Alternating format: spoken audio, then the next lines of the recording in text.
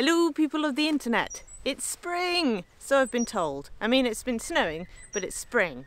Uh, it's all confused. Either way, because Ian's ill and we can't do our normal walks, I thought I would show you some lambs because it's lamb time.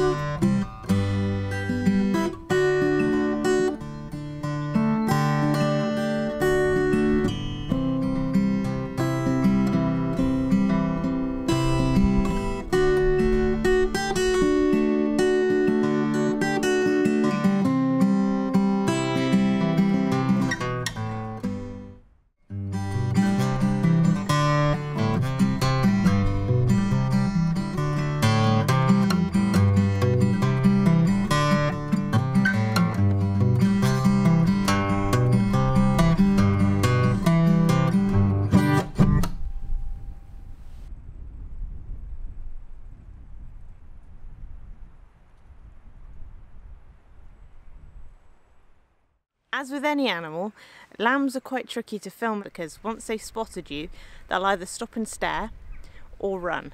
So you have to film them from a distance. So I'm to see what I've got with lamb footage wise and then bring the best stuff to you because you deserve only the best. Don't forget to subscribe to see us Mondays, Wednesdays, Fridays.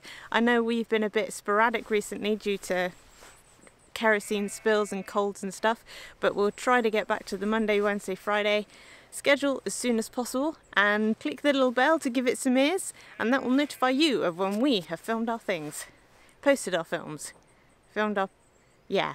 Anyway, bye!